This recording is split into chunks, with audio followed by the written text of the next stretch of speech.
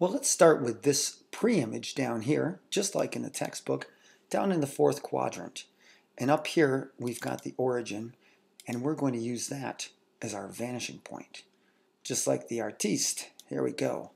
Let's draw rays coming from our vanishing point, and they are going to pass through each vertex of my pre-image, just like that in blue. Now, my image, I could have an image, if I push this image away from the center of dilation, I know that I am going to have an enlargement. If I were to push it this way, that's going to give me a reduction. So now, let's see if I can make some art out of this.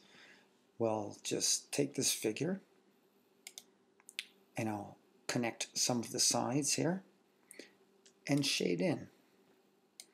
And now you see you have a shape.